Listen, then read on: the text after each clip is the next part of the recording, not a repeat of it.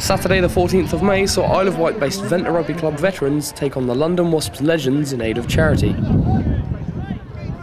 The game saw Ventnor score the first points with this Glenn Hepburn penalty. But all it seemed to do was rattle the Wasps' nest. They struck back with tries which showcased the truly world-class calibre of their lineup. The Wasps ended up winning comfortably, but the game was played in great spirits and raised over £8,000 for charity.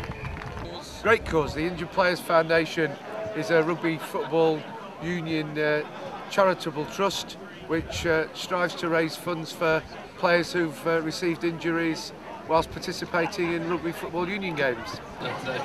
It's been fantastic. I think there's, uh, there's a couple of thousand people coming up to the local rugby club. This is what rugby to me is all about. It's fun, uh, you know, it's a good free-flowing rugby today, and it's about a community. It's been brilliant. I mean, I've got to say, a great crowd of people, great cause and a good charity, and we've raised some good money for them. So I think it's really important for that. The boys have all enjoyed it, and they're just enjoying having a couple of beers now. So I'm looking forward to a couple of beers and enjoy the rest of the night. Amazing, amazing turnout. Really well supported.